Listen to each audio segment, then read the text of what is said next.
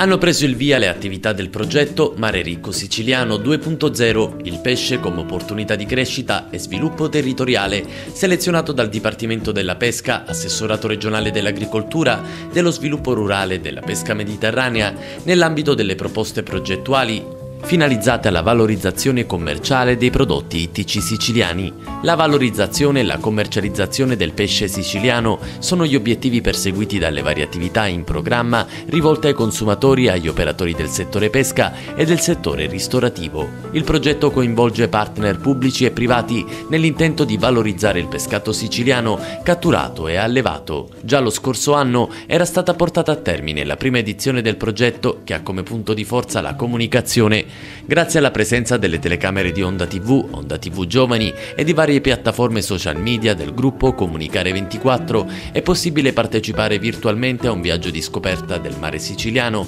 delle tradizioni marinare, delle specie ittiche meno conosciute ad essere attenzionato dal progetto Mare Ricco Siciliano 2.0 è principalmente il pesce cosiddetto povero o di rigetto, ovvero tutte quelle specie a basso costo che oggi rischiano di essere disconosciute e poco consumate, specie da valorizzare in quanto ricchi in termini di proprietà nutritive e da promuovere a tavola, tanto con piatti della tradizione, tanto con quelli più innovativi, abbinando il pesce ad altri ingredienti del territorio. In linea con le nuove tendenze e le prospettive future, anche l'acquacoltura rurale è stata attenzionata. Un documentario è stato realizzato all'interno di una realtà produttiva di Caronia per conoscere meglio le caratteristiche del pesce allevato, sia come opportunità di crescita per le aree interne, sia come prodotto di garanzia per i consumatori finali. La domanda di pesce in Italia non viene soddisfatta dall'offerta interna e grossi quantitativi di pesce vengono importati dall'estero. Per soddisfare la domanda si sta puntando sull'allevamento del pesce sia in mare che in acqua dolce